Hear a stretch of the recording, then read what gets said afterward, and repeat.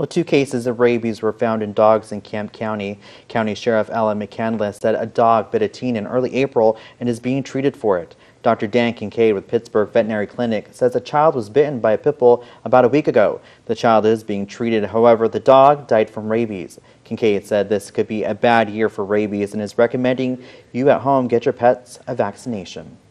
Now, rabies is regularly found in East Texas, and yet many families still don't vaccinate their pets. And the City of Tyler Animal Services is holding a rabies clinic today to try and fix that. Not only is it smart to vaccinate your pets to protect them and your family, it's also the law in Texas. Sean Markman says rabies is incredibly dangerous and almost always deadly.